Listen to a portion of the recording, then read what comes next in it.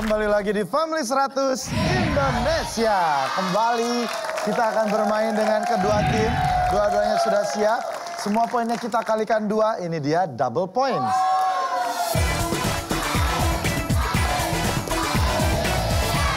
Langsung saja nih teman-teman, ini ada yang spesial ya. Kalau bisa menebak survei nomor 4, terus ada bunyi ini. Ini ada extra cash, langsung dikalikan dua, dapat 2 juta rupiah. Langsung saja kita panggil pemain berikutnya, ayo maju.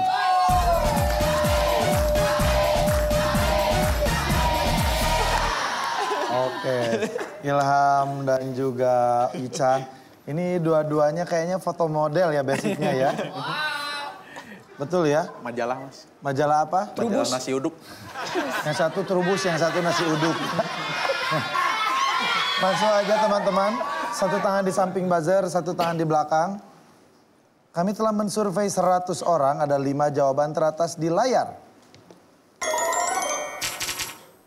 Dengarkan baik-baik.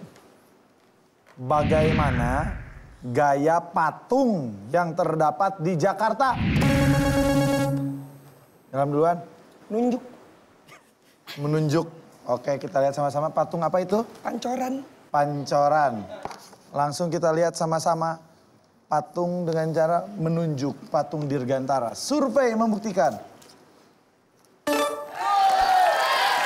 Nomor tiga. Ican, bagaimana gaya patung yang terdapat di Jakarta? Gini. Tuh. Apa itu? HI. Apa itu? Patung selamat datang. Bener banget, kita lihat sama-sama. Survei membuktikan.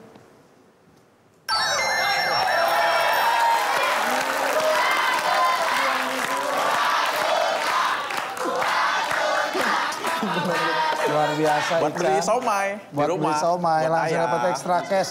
2 juta rupiah. Kali tawir. Kan? Tadi yang dapat 1 juta siapa? Saya. Yang dapat 2 juta siapa? Saya lagi. Luar biasa nih. Rezekinya nggak ke mana. Tapi Ilham posisinya lebih baik. Mau main atau lempar? Main lah. Mainlah anak Jakarta. Silakan kembali. Mainlah. Ini sih kebangetan nih semuanya ada di Jakarta. Kalian anak Jakarta. Basit, Iya. bagaimana gaya patung yang terdapat di Jakarta? Mana? Mana? Patung Panahan di Senayan ya. Biasanya janjian pada di situ ya nongkrong. Di mana patung Panahan? Kita lihat sama-sama gayanya memanah. Survei membuktikan. Akal tapi nggak ada di survei kami. Mungkin ada di nomor 6. Masalahnya ini cuma sampai 5. Tapi masuk akal. Ji, pikirin lagi kan banyak nih patung-patung ya di Jakarta. Bagaimana gaya patung yang terdapat di Jakarta? Berdiri. Patung proklamasi, ya kan? Kita lihat itu kan berdiri tegak. Kita lihat sama-sama. Survei membuktikan. Percaya kita lihat nih fotonya nih. Berdiri, ya, simpel berdiri tegak. Ada Bung Karno dan Bung Hatta para pendiri bangsa ya. Inggar, pikirkan baik-baik. Bagaimana gaya patung yang terdapat di Jakarta? Hormat. Hormat. Khasnya adalah hormat. Kita lihat sama-sama hormat. Survei membuktikan. Hormat. Oke sekali.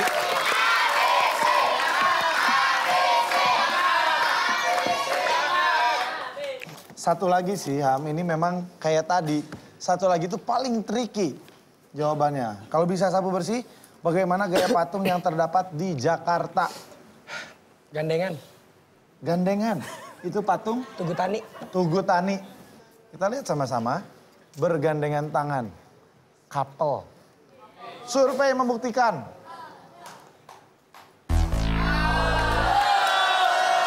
Dua kali salah Aremania silakan diskusi untuk merebut poin. Ini satu lagi sih harusnya salah satu yang cukup terkenal. Tugu Tani sangat terkenal. Tapi nggak ada di survei kami. Basit, pikirkan baik-baik. Tinggal satu lagi. Sapu bersih atau berkemungkinan direbut oleh mereka. Kapten, bagaimana gaya patung yang terdapat di Jakarta? Sedang duduk. Hmm? Duduk. Duduk. Kita lihat sama-sama. Survei membuktikan. Tiga kali salah. Ini. Memang ini bukan masalah lagi orang Jakarta atau apa, tapi kan memang ini pengetahuan umum. Ya, semua patung-patung ini pasti dikenal di seluruh Indonesia. Ican, bagaimana gaya patung yang terdapat di Jakarta? Patung Senayan, obor. Jadi gayanya adalah Memegang, memegang obor. obor. Ulfa, bagaimana gaya patung yang terdapat di Jakarta? Sama, memegang obor. Memegang obor. Yakin itu obor? Ya, Siapa tahu opak? Nah, kalau kalau itu patung keluarga Cemara yang kalau megang opak, opak. Di ke bagaimana gaya patung yang terdapat di Jakarta? Memegang obor. Memegang obor. Itu di Senayan ya. Pas per apa perempatan ya itu karena banyak banget. Itu namanya patung pemuda membangun. Makanya dideskripsikan sebagai anak muda memegang obor itu memang pembangunan Indonesia. Ya. Pikirkan baik-baik untuk merebut poin. Kalau punya jawaban sendiri sebagai kapten silakan. Bagaimana gaya patung yang terdapat di Jakarta? Memegang obor. Memegang obor. Kita lihat sama-sama ya. Memegang obor. Kita lihat sama-sama kalau ada memegang obor berarti poin direbut dari Jackmania. Survei membuktikan.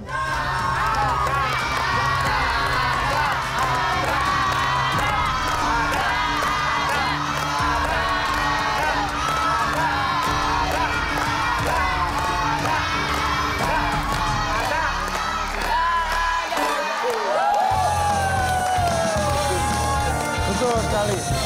Itu salah satu yang terkenal ya. Kalau di Senayan tuh itu salah satu yang terkenal memegang obor. Berarti poin dhisik. Teman-teman, Jackmania poinnya 225. Aremania poinnya 234. Tipis sekali. Dan ini kita akan masuk ke games penentuan. Menentukan siapa yang akan bermain bersama saya untuk 200 juta rupiah. Semua poinnya kita kalikan tiga. Ini dia triple point.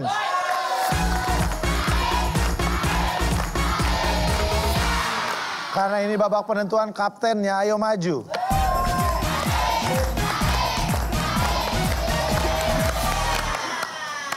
Oke, Basit dan Endra, dengarkan baik-baik ini penentuan. Pikirkan baik-baik jawabannya dan strategi kalian ya. Kami telah mensurvei 100 orang, ada 4 jawaban teratas di layar. Pertanyaannya adalah, olahraga apa yang atletnya melompat dengan tinggi? Basit? Bulu tangkis. Bulu tangkis. Kita lihat sama-sama bulu tangkis. Survei membuktikan.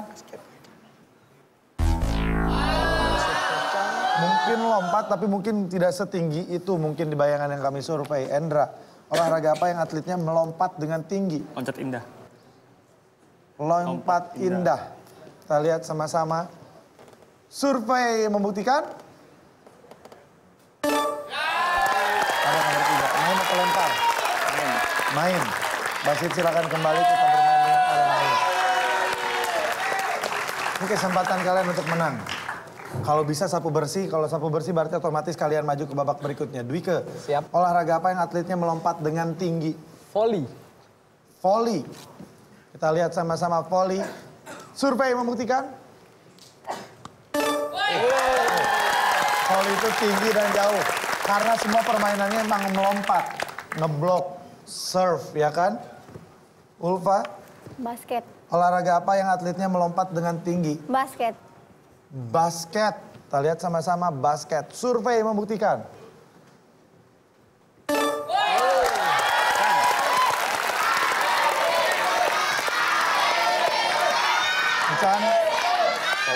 Tinggal satu lagi, sapu bersih.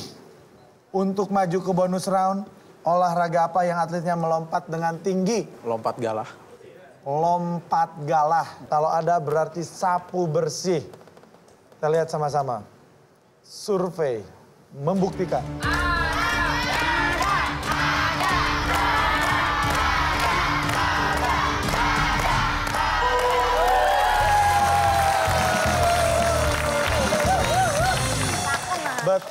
sekali, sapu bersih. Siapa lah? Tas, tas. Selamat untuk Aremania dan langsung kita akan melihat poin akhir masing-masing tim. Jackmania poinnya adalah 225. Aremania poinnya adalah 504. Langsung sapu bersih. Siapkan dua orang untuk bermain bersama saya di bonus round. Sekarang saya ke Jackmania. Basit, terima kasih banyak sudah ada di sini. Oji, makasih banyak. Inggar, makasih banyak. Nick Angel, Ham, thank you Ham. Udah datang ke sini. Terima kasih banyak teman-teman ya. Sayang sekali kalian harus pulang. Tadi di akhir mungkin punya kesempatan untuk menjawab lebih dulu. Tapi inilah permainan ya. Sayang sekali, tapi kalian berhak membawa pulang hadiah sebesar Rp2.250.000 rupiah. Terima kasih teman-teman udah datang ke sini. Dan sekarang saatnya lihat ke sana. Menyapa teman-teman Jackmania, sahabat, keluarga, dan seluruh supporter di Indonesia. Saatnya bilang... Bye. Terima kasih ya teman-teman, terima kasih banyak, terima kasih banyak. Aremania, Endra, siapa dua orang yang akan main bersama saya? Indra Ican. Ican dan saya. Ican dan Endra akan bermain mencoba membawa pulang 200 juta rupiah. Apakah Aremania bisa membawa pulang hadiahnya hari ini? Sesaat lagi tetap di Family 100 Indonesia.